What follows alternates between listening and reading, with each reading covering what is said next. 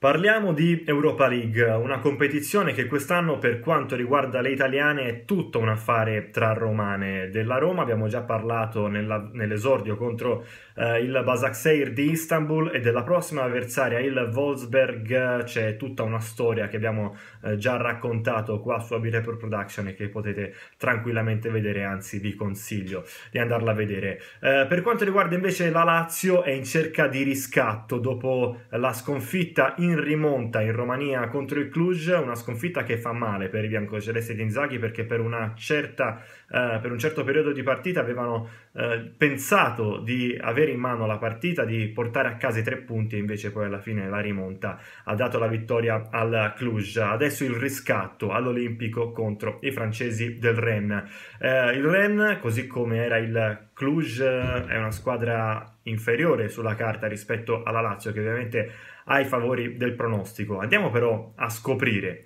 questa squadra. È un club che, nonostante sia tra i più antichi di Francia, in Ligue 1 eh, per data di fondazione terza dietro soltanto a Olympique Lione e Bordeaux, che ovviamente ha tutta una storia a sé, eh, però nonostante questo, nonostante sia una delle squadre più antiche di Francia, non ha una grande tradizione vincente né in Francia né, quantomeno, né tantomeno in ambito internazionale. Um, una prima svolta si ha negli anni 90, quando in Bretagna si decide di puntare fortemente sul settore giovanile e quindi negli anni 90 iniziano a fiorire eh, giocatori importanti, il fiore all'occhiello è quello Will Tord che poi nel 2006 andrà a giocarsi una finale mondiale appunto contro l'Italia sfortunata per la Francia, il Rennes che poi venderà Will Tord all'Olympique Lione per cifre ingenti. In quegli anni il Ren inizia una prima scalata, una scalata che poi eh, sarà definitiva nella 2000 con l'acquisizione del club da parte di François Pinol che acquista il club già nel 1998 e lo porta a diventare uno dei principali club francesi sia in ambito nazionale che anche in Europa portando a partecipare eh, il Rennes a farlo partecipare per 5 volte in 10 anni alle competizioni europee. Chi è François Pinol? Eh, è un magnate fondatore di una società che detiene le quote di maggioranza di marchi di lusso, tra cui Gucci, Balenciaga, Saint Laurent, insomma è un un vero e proprio magnate eh, internazionale, mondiale, che parte dalla Francia per espandere ovviamente dai marchi francesi poi a marchi di tutto il mondo. Tra l'altro detiene anche dei possedimenti in Italia, tra cui dei palazzi bellissimi in centro a Venezia. Insomma, è uno dei grandi del mondo, François Pinol, che porta quindi il Rennes eh, ad avere un respiro internazionale, un Rennes che poi dopo però eh, insomma quel decennio 2000-2010 ritorna ad essere un club diciamo di medio livello in Francia. Eh, una terza svolta è quella che ci porta adesso a descrivere Ren che va a giocare all'Olimp- all'Olimpico di Roma contro la Lazio si ha negli ultimi anni perché due anni fa il quinto posto eh, fa conquistare dopo eh, sei anni di assenza una nuova qualificazione in Europa League al Rennes, dove però esce subito alla fase gironi. L'anno successivo, però, ovvero l'anno scorso, stagione 2018-2019, eh, riesce a vincere la Coppa di Francia e quindi a qualificarsi eh, per, eh, nuovamente per l'Europa League. Vittoria in Coppa di Francia, tra l'altro, contro il Paris Saint-Germain e eh, un nuovo titolo portato a Rennes in Bretagna dopo ben 48 anni di astinenza, l'ultimo titolo al Rennes era stato proprio una Coppa di Francia nel 1971, ma l'anno scorso eh, fa grandi passi anche in Europa League perché dopo aver eh, passato la fase a gironi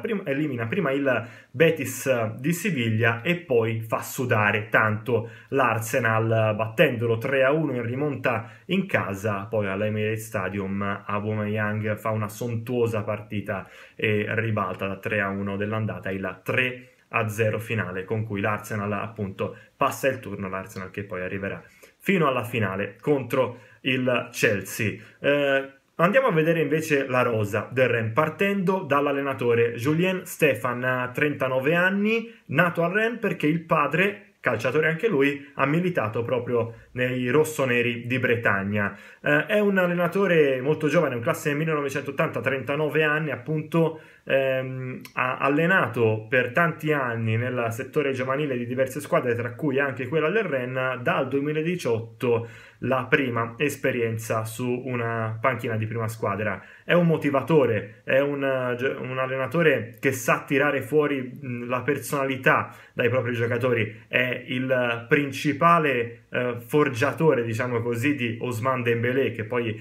eh, esploderà prima con il Borussia Dortmund e poi adesso, come sapete, appunto con il eh, Barcellona. È un allenatore che predilige sia la linea 4 con 4-4-2 classico per il suo Ren, sia però anche quando ci sono squadre molto sfrontate che giocano un calcio molto verticale, molto eh, profondo, come appunto la Lazio, eh, predilige a volte anche la linea 5 addirittura in difesa 5-3-2 e probabilmente all'Olimpico di Roma vedremo eh, un Ren che giocherà con 5 difensori, 3 centrocampisti e 2 attaccanti. Il portiere Edouard Mendy, classe 92 senegalese, è il portiere di riserva della nazionale senegalese. Dietro di lui, anzi davanti a lui, c'è Alfred Gomis, che noi conosciamo molto bene per il suo passato alla SPAL, ora gioca nel Digione, appunto in Francia, in Ligue 1, davanti a lui linea 5 in difesa o linea 4, lo staremo a vedere. Il capitano è appunto il difensore centrale Damien da Silva al centro della difesa, arrivato nel 2018 dalla KN con cui è arrivato dalla Ligue 2 alla Ligue 1, insomma è un maestro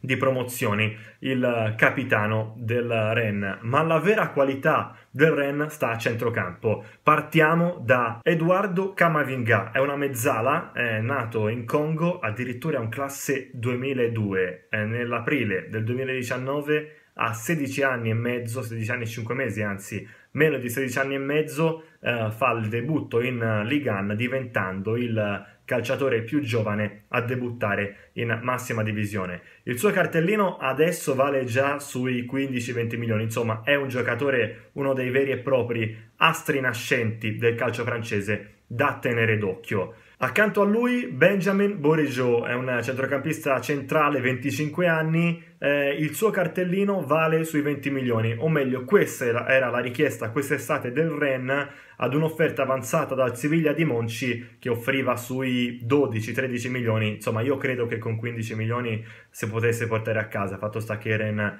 eh, secondo quanto si dice, si è detto durante quest'estate, voleva una cifra sui 20 milioni ed è proprio anche questo che ha intimorito la dirigenza della Roma che aveva sondato il terreno per questo centrocampista, poi ha preferito eh, non avanzare offerte e puntare su altro per il centrocampo di Mister Fonseca. Uh, là davanti ci sono delle conoscenze del calcio italiano. Il primo è Bayern Young, che ha fatto molto bene l'anno scorso, 14 gol in 44 presenze tra uh, campionato, Coppa, Europa League, insomma uh, ha fatto discretamente, si è un po' ripreso dalle esperienze non positive in Italia, tanto da convincere i dirigenti del Rennes a riscattare il cartellino, quindi di fatto il riscatto pagato 15 milioni dal Torino e adesso è a tutti gli effetti un giocatore del Rennes, ha bagnato il suo esordio nelle prime 8 presenze tra campionato ed Europa League già con 4 gol, insomma eh, sembra definitivamente rinato Bayern Young anche se restano ancora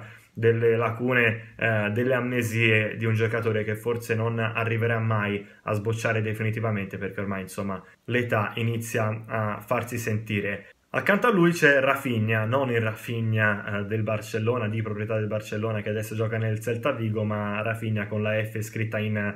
PH. È un brasiliano, classe 96, eh, cresciuto eh, negli ultimi anni nello Sporting Lisbona, arrivato alla crescita definitiva e pronto ad esplodere. Eh, si è parlato di lui molto in estate anche in Italia per un suo possibile approdo in Serie A, lo ha cercato fortemente anche, o comunque l'ho visionato, eh, la Fiorentina di Daniele Pradè, poi ha preferito virare su altro, insomma il testa a testa è stato vinto dai francesi del Rennes che se lo sono assicurati dallo Sporting Lisbona. In alternativa in attacco, Adrien Onu è un classe 94 che è cresciuto nel Rennes, poi è andato in prestito un po' a giro per la Francia prima di ritornare appunto a Rennes. Lui è una vera invenzione del, del, tecnico Stefan perché ha girato un po' in tutte le posizioni del campo in mediana, a centrocampo ha fatto il mediano, ha fatto il trequartista, ha fatto la mezzala, ha fatto l'esterno, addirittura insomma a centrocampo ha girato tutti i ruoli fino a che Stefan eh, non decide di metterlo in attacco e da lì ritrova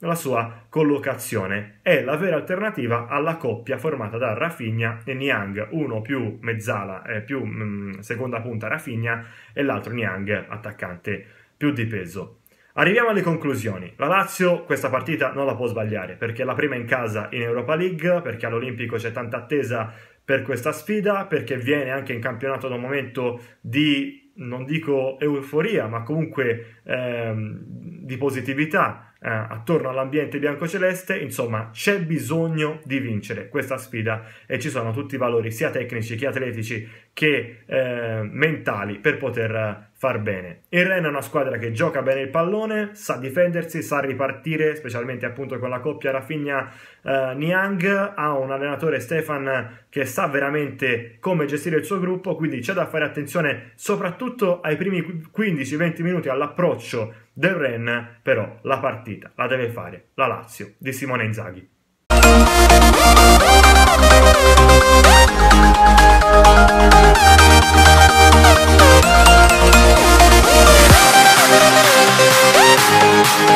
Música